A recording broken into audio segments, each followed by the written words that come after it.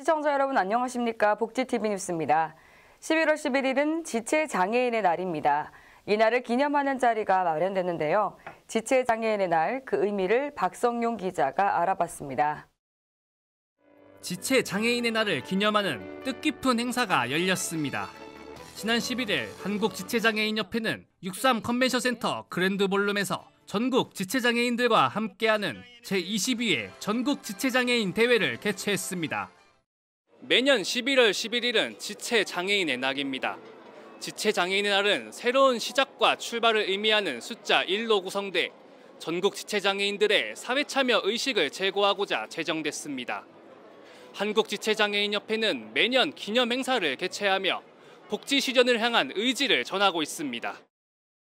이처럼 뜻깊은 의미가 담긴 행사에는 한국 지체장애인협회 김광한 중앙회장을 비롯해 전국 17개 시도 협회장 등이 참석해 자리를 빛냈습니다. 대회사를 전한 김광한 중앙회장은 이번 행사를 계기로 당사자주의를 반영한 정책을 마련하겠다는 의지를 다졌습니다.